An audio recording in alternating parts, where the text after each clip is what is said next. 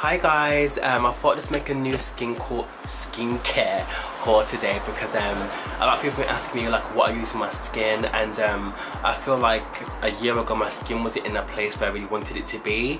So um, I've just been trying, trying like trying new products and like see what works for me. I've tried a few that didn't really work for me that really brought me out. So um, I'm going to give you like um, what I use that I really love at the moment. The first is the Rosa oh it's called the cleansing gel from Ren which looks like that. Um, I got this a few weeks ago not weeks ago a few months ago when I went to Dubai in March. And um, I've been using it ever since. It's very light on the skin um, it doesn't feel heavy it doesn't make your face really tight after. And um, I just love it really. It's almost finished which I'm really annoyed about. Um, you get a lot you get 150 you get 5.1 fluid ounces in this and it's 150 ml and I think it was I can't put the price because it was in dirhams but um, it's just amazing. Um, it's got aloe vera in there and rosa flower juice and I feel like it's just a really good product. Ren's known for being really good anyway and um, I also bought the Ren Daily Supplement Moisturizing Cream. Um, this cream is for all skin types. Um, it is quite a, um, a, not a thick cream. Let me show you actually. It looks like that. Um, it's not thick. It's very, you have to really moisturize it into the skin for it to evaporate. So it's very like pow, but um, it's really nice and it's gorgeous. Um, it gives the skin a really beautiful, rich sort of look. So I really like that. And um, I've also been using the NARS Optim Op Optimal Brightening, Brightening Concentrate, which looks like that. I love this. If you look at my Instagram, I would have posted a picture of this like a few weeks ago.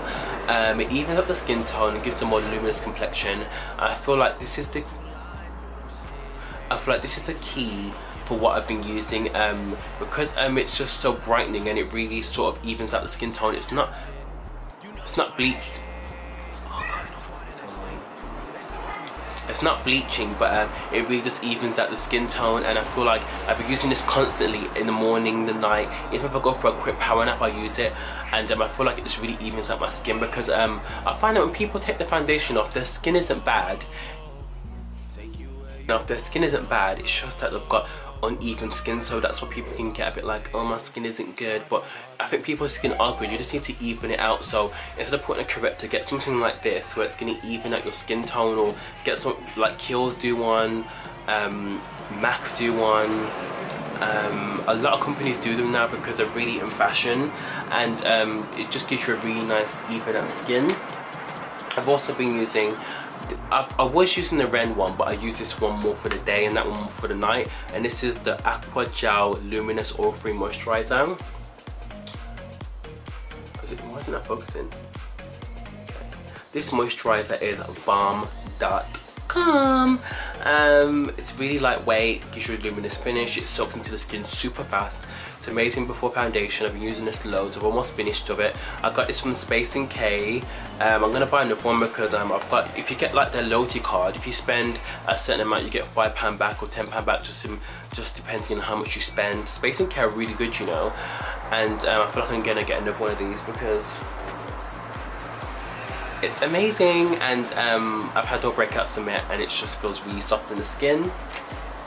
I've also been using the Ren Eye Contour, um, which helps with puffiness.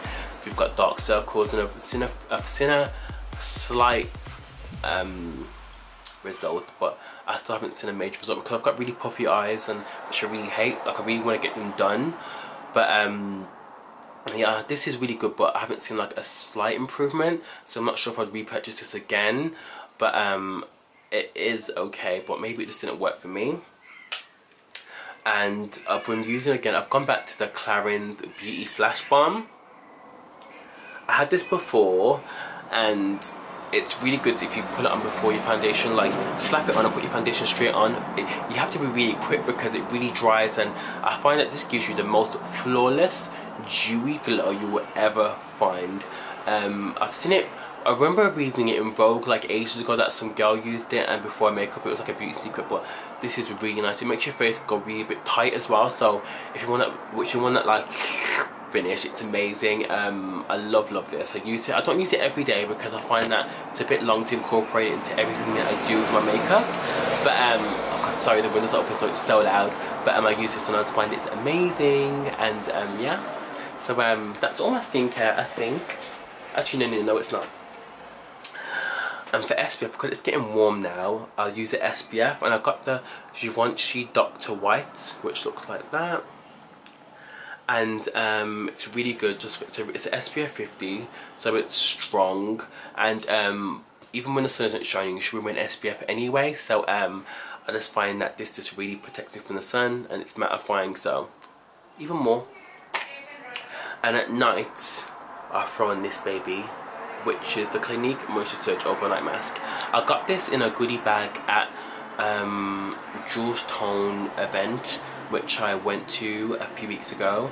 And I put this on at night and it just it's just amazing. Um, it's really good because obviously when you sleep you, you lose a lot of um, hydration in your skin. And this just makes sure that it gives a really big boost of like hydration sorry I'm losing my words and it's amazing as well and yeah that's what my skincare if you have any more questions what I use you can always direct message me on Instagram which is at theplasticboy.com or you can message me on here on my Facebook or on Twitter. So thanks guys. If you have any more questions, message me.